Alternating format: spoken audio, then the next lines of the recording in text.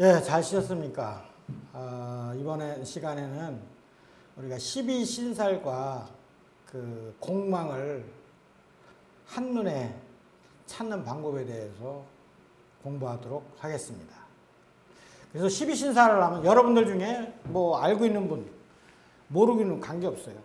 특히 처음 그 역학을 공부하는 분들은 이 12신사를 암기하는데 첫 자만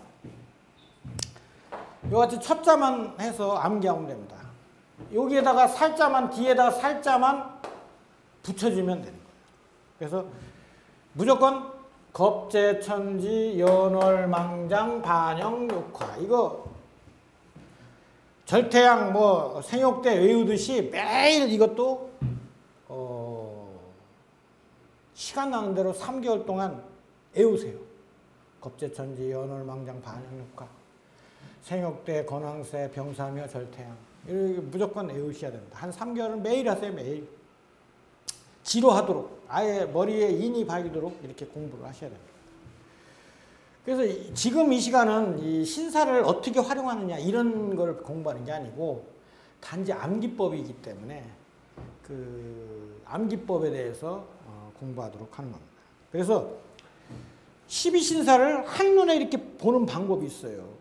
한눈에 12운성이나 12운성은 여러분들한테 제가 한눈에 보는 방법 지난 시간에 가르쳐 드렸잖아요. 이번 시간에는 12신사를 한눈에 보는 방법에 대해서 공부해 보도록 하겠습니다. 이런 시기로 그 인목을 기준으로 했을 때 이렇게 천지, 연월, 망장 이런 식으로 여러분들이 암기를 하면 이거 죽었다 깨나도 어, 외우기 힘들어요. 그래서 앞으로는 어떻게 외우냐면 삼합을 기준으로 외우면 돼요. 삼합. 삼합에는 인, 오, 술, 신, 자, 진, 사, 유, 축, 해, 묘, 미. 이렇게 삼합을 써놓고 산합을 써놓고 이후에다가 어떻게 하냐면 인 오술. 여러분들 제가 어, 제첫 강의할 때 천간과 지지를 순행, 역행 자유롭게 외우라고 그랬죠. 그 이유가 그게 돼야 이 삼합을 가지고 12신사를 한눈에 찾을 수가 있어요. 그게 안 되는 사람은 그게 안 되는 사람은 12신사를 한눈에 볼 수가 없어요. 자, 우선 항상 이렇게 삼합을 써놓고 위에다가 천 지 연 망장반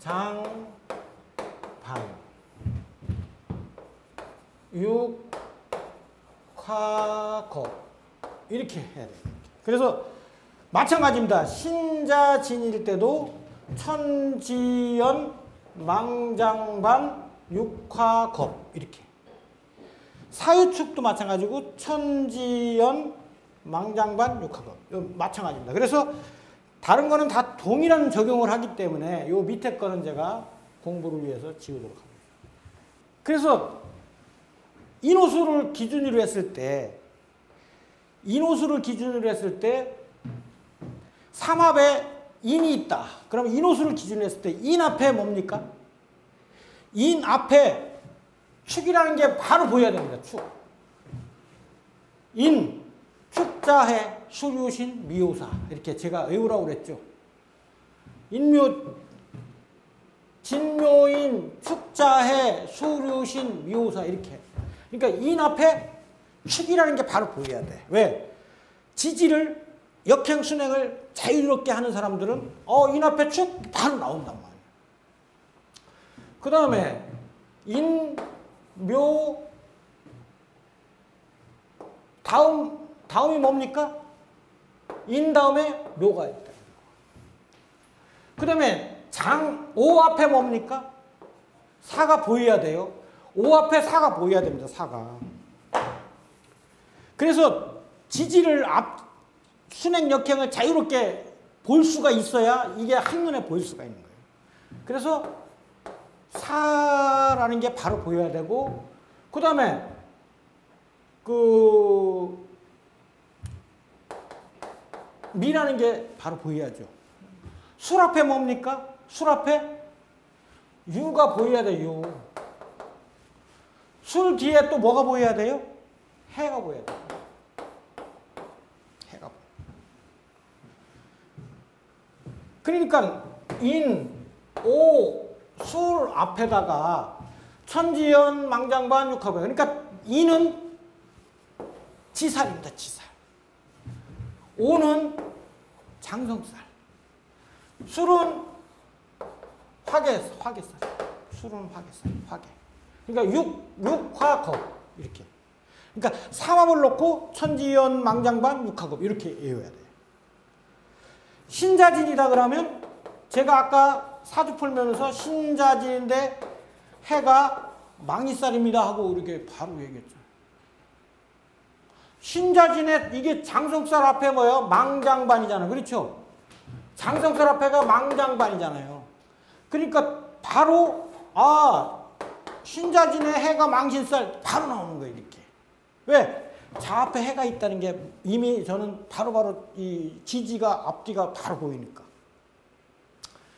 그래, 그래서, 그러면 이렇게 따지다 보면, 둘, 셋, 하나, 둘, 셋, 하나, 둘, 셋, 아홉 개밖에 안 되잖아요. 그렇죠? 아홉 개밖에 안 되는데 12신사는 13개가 빠져서 3개가. 그래서, 지사를 충하는 게 있어. 지사를 충하면 뭡니까? 바로 역마살이.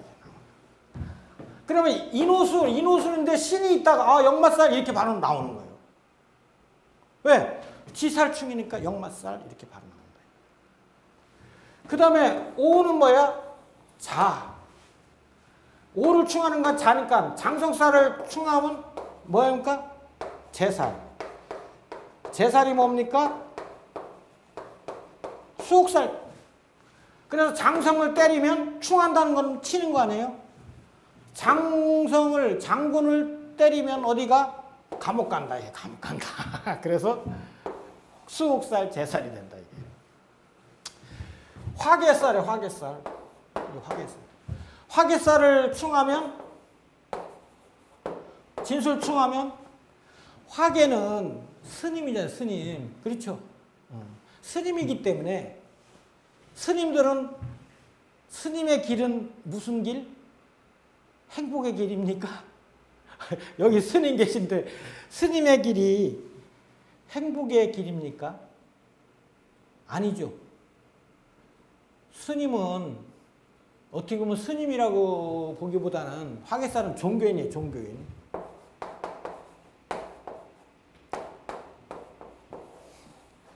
사실은 종교인 사주는 안 좋은 사주.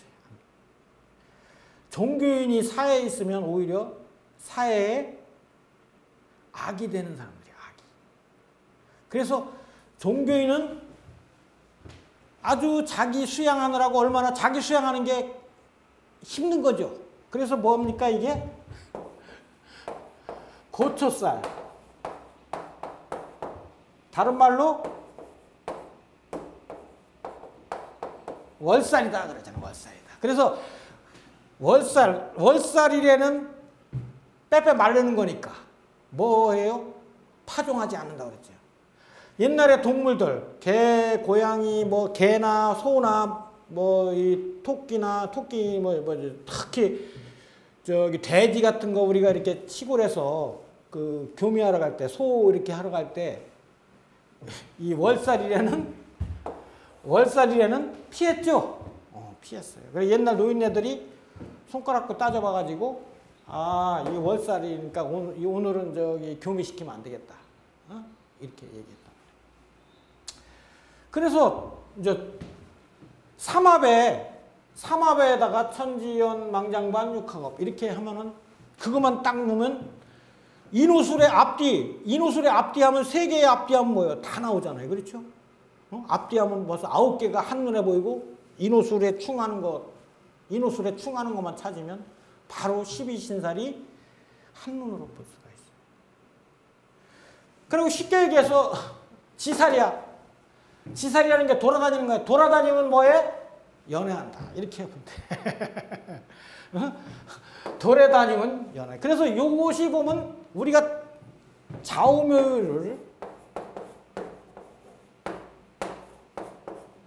이 좌우묘유가 뭐라고 그랬어요? 이게 연살이라고 그러지, 연살. 어?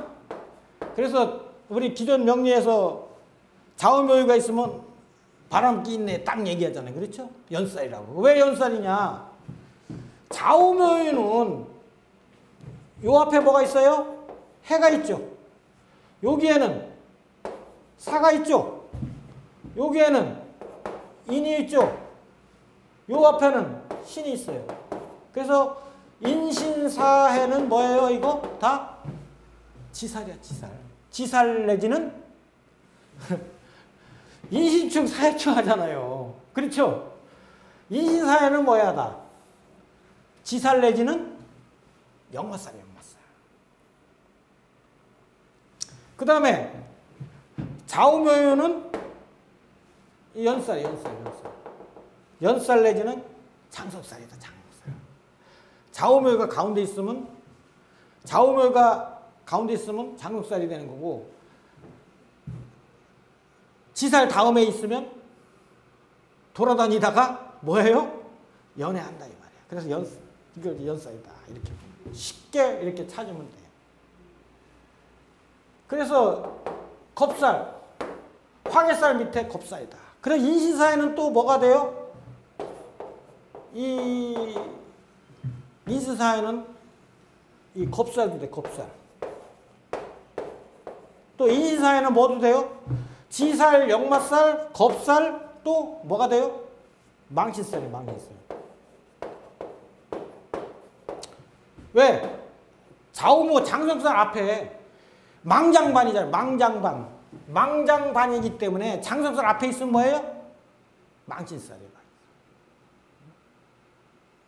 그래서 그 이렇게 하면 이거를 여러분들이 처음에는 좀 어려울지 모르지만 기본적으로 지지를 순행 역행을 머릿속에서 바로 나오는 사람 나와야 되고 두 번째 사만만 알으면 바로 12신살이 한눈에 보여요.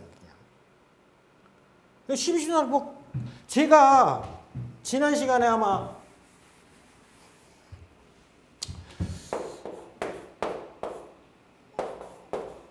무진이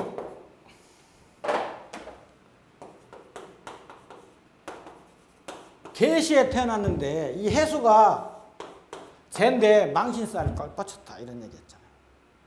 바로 왜? 진을 보면 뭐가 생각납니까?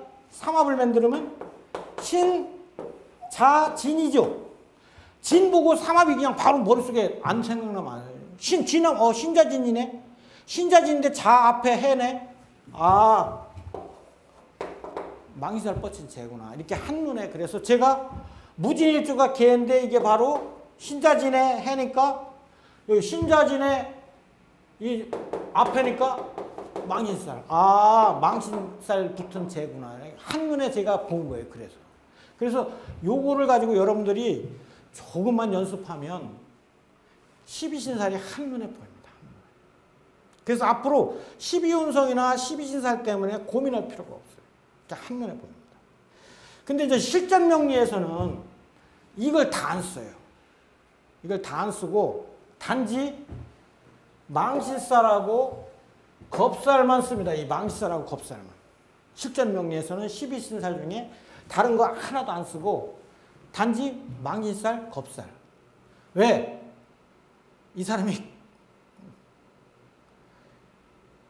불법으로 돈을 버는지 안 버는지, 모두 불법이 대로 했는지 안 하는지 이런 걸 보기 위해서 감옥 가는지 안 가는지 그러면 감옥을 가는데 왜 감옥을 가는 건지 이런 거를 갖다가 우리가 이제 분석하기 위해서는 망치살과 겁살 두 개만 잘 사용. 나머지는 이 역마살은 여기에서 사용하는 역마살은 안 써요. 다른 역마살을 사용합니다. 그래서 시점 명리에서는 이거 다 안 쓰니까 쉬워요. 그래서 요거는 천지연 망장반 육하고 사만만 머릿속에 그리면 지지가 왔다 갔다만 하면 바로 12신사를 압니다. 그래서 여러분들 요걸 가지고 좀 연습을 좀 하세요. 연습을 하면 그래서 항상 뭘 놓고 어 일지에 신이 있는데 해가 왔다. 아 이거 망친살 이렇게 바로 나오게. 그 다음에 어 사가 왔어. 신자진에 신자진에 사는 어디입니까? 진사죠. 아 이게 겁살이구나 이렇게 바로 12신사를 한눈에 볼수 거예요.